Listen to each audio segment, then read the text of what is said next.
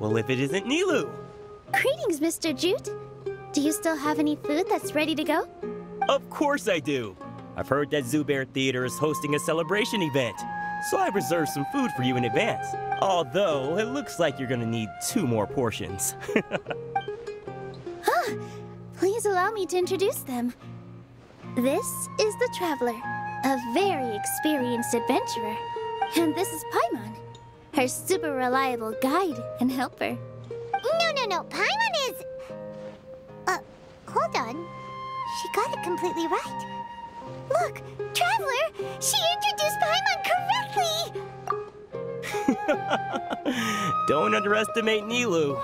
She always remembers every last little detail about everyone, even if it sounds completely trivial. She's also very brave. Just a little while ago, she saved my precious spices from the jaws of a sumpter beast. Uh, don't think anything of it.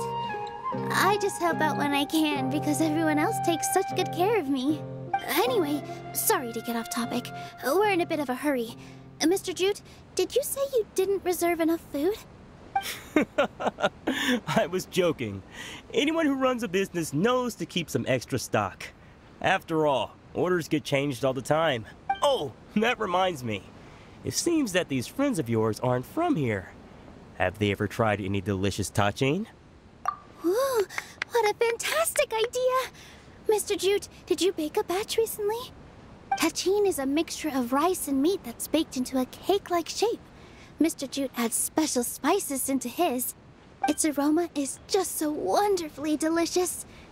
If you ever see kids crowding all around Mr. Jute's place, you know he's baking up a storm. but is it really just for the kids? Don't you often follow them in too? I... I just can't help myself. We're two peas in a pod. Who doesn't enjoy some good food? Wait here. I'll bring some over. Hmm.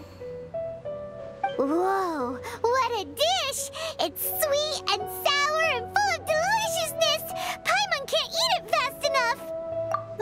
how many times I eat it, it's still so delicious.